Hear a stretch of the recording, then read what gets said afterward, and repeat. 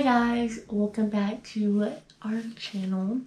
Today we are doing part three of my story. As you know, we've talked about her first two surgeries, her cleft lip being fixed with a lip adhesion in surgery one and her definitive lip surgery in surgery 2 Mhm. Now we're going to talk about her third surgery, which was Don't your. I don't know. which was the closure of her palate. So one thing that you have to understand is leading up to the surgery, lots of things had to happen in order for this to work. One of the big things, which was probably one of the hardest things for me, was she could not be using a bottle or using a sippy cup after this surgery. And so she had to learn to drink from a cup like before she was a year old because her surgery was actually scheduled just a few weeks after she turned a year old. I folded, let's say I just I couldn't handle trying to get her to drink. But luckily her dad had more patience and he um, also had some background on how he wanted to go about doing this. So he had this and it's if I'm getting this right, um, it's a nosy cup Mhm. and um, he would sit her on the couch and he would put her in one arm Mhm. and he would get her to drink Mhm. and it she would scream and scream and scream and scream and scream because it wasn't the bottle or you know um, she'd been kind of using sippy cups but the problem with the sippy cup is we'd have to take the valve out of them and so basically it wasn't a sippy cup anymore. If she dumped if it fell over it dumped everywhere anyway. But it was just a cup with a closed lid basically. She definitely uh, was not ready or didn't want to do that but luckily with the patience of her dad she um, did learn to drink out of a cup before that surgery which i'm glad it was him doing it hmm. because i gave up. I'm like i can't listen to her cry. It makes me hmm. sad. But no he he did that and so that was a plus because the reason why you can't have a baby or a child with a cleft palate drinking from a bottle or sippy cup is because after surgery wow hmm. there's a lot going on in that mouth and it's super tender and it's got stitches and it's just it's painful. And so if you use a bottle or a sippy cup it will damage the work that they've spent um, fixing it. So it was huge to make sure that the um, goal of having her to drink from a cup was accomplished before surgery. Prior to surgery also you know we met with her surgeon and um, he was leery on this surgery because with it being Aubrie, we've already kind of talked about her and her uh, uniqueness. He was straight up with us, and he and I it was our same surgeon, Dr. Kane. He basically said her cleft is wider than most clefts are. So, meaning, I'm not sure if we're to have enough tissue inside her mouth to fix it. Okay, and he was very optimistic though. He's like, but you know what? We're going to go in, we're going to fix it, we're going to do what we can. But that was a big concern because he wasn't the first doctor to tell us that. Um, even her um, pediatrician at the time had even told us that it was one of the bigger clefts that she had ever seen as well. So we knew that it was going to be a challenge before we even went into her surgery. She went into surgery. Um, I believe it was another three hour surgery. Could be wrong, but I'm pretty sure it was three hours. The beginning ones were shorter. This time, with her being a little older, she got to take a friend with her. Elmo. Elmo was her thing. And as you can see, they made sure that Elmo got um, his own um, tag so that they knew for sure that Elmo went back with her after surgery. But she definitely was um, bigger and kind of knew a little bit more, but you know, still being only a one year old, didn't exactly know everything. So with this surgery, when she came out, she was wearing these. a lot bigger than her first two surgeries, and also having the extra strap with them. The way these worked is that strap went around her back to kind of help make sure that fingers and nothing was going up in her mouth after surgery. Well, the other thing with the surgery is she was really kind of gorked out from Mm-hmm. The medicine she was on after surgery, and um, we had to hold her upright all night after surgery because of all the drainage that was still happening from surgery. So we would have, you know, like towels and stuff on our shoulders, and we would take turns holding her because we couldn't lay her flat. And she'd have those little arm braces on, and she's so she's like leaning up against us, but she looked miserable. She was, you could tell it would hurt. It would hurt a lot more than the other ones. I remember, you know, the when the surgeon came in to talk to us, um, he did tell us that he was excited that there was enough tissue in her mouth to close it. He was super excited for that. He was like, "I we did it. No worries there." And when we got to see it, oh my goodness, it was, it looked so painful, so so painful. You know what? These babies bounce back. They are they are super duper troopers. I'll give you that. And she definitely did not let this one hold her back. She was only overnight again, and um, you know we brought her home, and we still were like, oh, but because it looks so painful.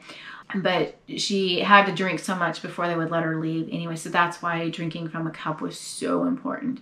You know, we got home and got going back to our regular routine, and she was able to start slowly eating those soft foods, you know, like applesauce and things like that.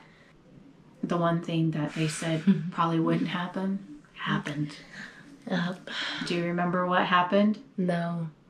I don't. All the stories we've told you, you don't remember what happened. no. I don't. About a week and a half or so after surgery, her palate reopened. I don't remember any of that. Of course, you're not going to remember it. I was freaking out. I can tell you that. I had her in her high chair. She was having some applesauce, and I knew instantly that it had opened because applesauce came out her nose. And I went, oh my gosh, no. Um, so, of course, I called the surgeon's office and bless her heart, his nurse was like, "Oh, it's okay. That sometimes happens." And I'm like, mm, "I don't think so." Um, and after this particular surgery, the actual surgeon gave me his cell phone number, so I called him directly. And I talked to him. He'd actually had been in a surgery, um, but he called me back, and I told him what was going on. And he's like, "Lay her on the floor and use a flashlight and look at the palate and tell me what you see." and we laid her on the floor and you know she opens up her mouth and you can see it and sure enough there was a hole and when i described it to him it was about the size of a pencil eraser you know the little uh, eraser on the top of a pencil um, it was round and just the size of a pencil eraser and i was devastated i was like oh my gosh and so he's like, Well, you can bring her down tomorrow and I can look at her in between surgeries or just wait to your uh, follow up appointment. We went ahead and just waited to her follow up appointment. He was devastated. I mean, he he was very very sad that um, it had opened, and he looked at it and he's like, "Well, it did open," and he's like, "And you knew that?" I was like, "Yeah." He goes, "Well, at this rate, all we can do is see if it will close back on its own. If it doesn't, in a year, we'll go back in and we'll go back into surgery and we'll fix it. So we were kind of at a standstill. We were like, okay, so it didn't work completely, but it worked. And after talking with him about it, he the only thing he can think of is the dissolvable stitches just came undone sooner than they usually do for whatever reason. And that's what caused it to open.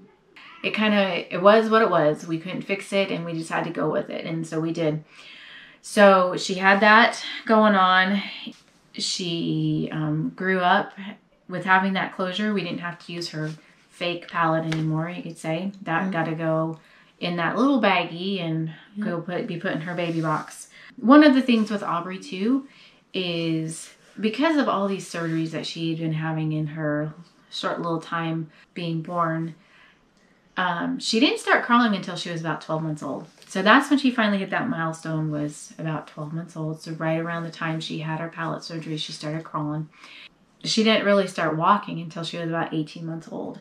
So after she started walking and doing all that fun stuff, um, when she was two years old, we went back and had an appointment with the team, her craniofacial team, and we got to see our surgeon again. And he looked at her because we was you know back to that whole palate thing. Did it close on its own or not type of thing? It tried to. It tr- it it almost closed completely on its own but it didn't. It left just a tiny tiny like opening like a mm-hmm. sliver. Just itty bitty was still up in top of her mouth. So he was like you know i really don't want to you know put her back into surgery just for that tiny little thing. He's like i think we can fix that when we're doing another surgery. And he's like as long as you guys are okay with that and she can handle things the way it is we're going to leave it be. So from the time she basically had that reopening after surgery she had a tiny tiny little hole in the top of her mouth. Every once in a while you would see something come through her nose. Um, and usually it was just I won't say it was like if she ate M and M's, like a coloring from an M and m might come through her nose or something. But it wasn't like something all the time. It was just every once in a while something just hit the spot just right and it would come through. So it wasn't a big deal. Besides that palate reopening and almost closing on its own, one of the biggest blessings mm-hmm. Aubrie probably had during this whole thing was what? No tubes in my ear. no tubes in her ears. So Whoop. one of the things that's pretty common with um, cleft palate babies is ear infections and then having to have tubes put in. And this one never had an ear infection when she was a baby. Never. Nope. Um, doctors were like, serious? There's no tubes? We'd go to have an appointments and they're like, tubes in? Nope. She doesn't have tubes? No. She never had an ear infection. Mhm. And so that was huge. I mean, the other thing is, is her hearing was off the charts. So mm-hmm. we always joke with her that we know she can hear us. She just chooses mm-hmm. not to listen to us. Mm-hmm. But anyway, and it's still like that today. But yeah, she didn't have to have any tubes. And so her first ear infection she ever got was when?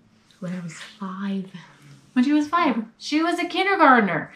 And she had it, it started one month and we cleared it up and it came back the next month and we cleared it up and it came back the next month and cleared it up. I mean, it was to the point where our doctor was like, if she gets it again, you're going to have to go see a specialist because I'm not sure why she's getting them. But it never did. It never came back after that third month in a row. Nope. So she had her bout with the ear infection, but you know, she um, never complained really. No. I mean, she did have one other ear infection two years ago, but that's just because you were swimming too much. Yeah. But no big deal because that one was something different. The other thing that we had to start was speech. Yep. So she started seeing a speech therapist when she was Three. three years Three. old. the local speech therapist would collaborate with our speech therapist that was on her craniofacial team which was so so helpful. They could communicate through email or you know phone calls and be on the same page working with making sure she was making the correct sounds.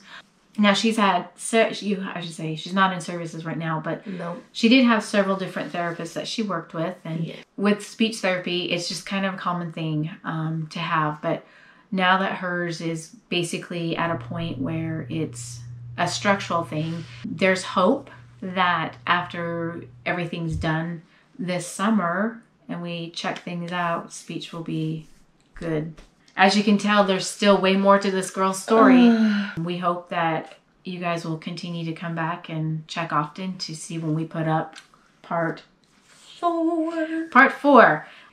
If you guys have any questions, feel free to email us at. Cerealbarnstories at gmail.com. Thanks for watching. Bye. Bye.